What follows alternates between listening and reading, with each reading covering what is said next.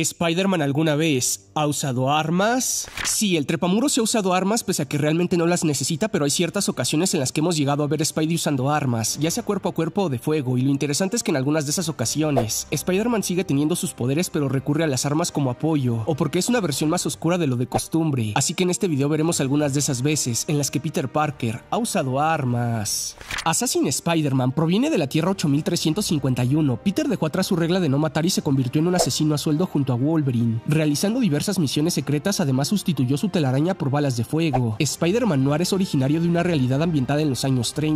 Aquí Peter es una versión más brutal razón por la cual a pesar de seguir usando telarañas, también decidió incorporar dos revólveres para matar a sus enemigos. Spider-Man vaquero lo llegamos a ver en la serie animada de Ultimate Spider-Man. Esta versión de Peter proviene de un universo ambientado en el viejo este, por lo que aquí sus web shooters son sustituidos por dos revólveres que en lugar de lanzar balas disparan telaraña. En los cómics también encontramos una versión vaquera de Spidey, solo que en las viñetas no es Peter Parker, sino Patrick O'Hara, e igual tiene dos revólveres que disparan telaraña. Spider Punisher, sí, en un What conocemos a esta versión, la cual es un Peter Parker bastante violento al punto de que ha llegado a matar con armas de fuego, incluso fue capaz de acabar con la mayoría de sus villanos usando balas especiales, pero tras revelarle su identidad a Gwen Stacy, Spider-Man dejó el manto para formar una familia. Ahora, también podríamos considerar a Iron Spider o Superior Spider, ya que si bien no usan armas, sus armaduras son un arma. Al integrar misiles, bombas láseres. ¿Qué otras versiones arácnidas que usen armas conocen? Bye.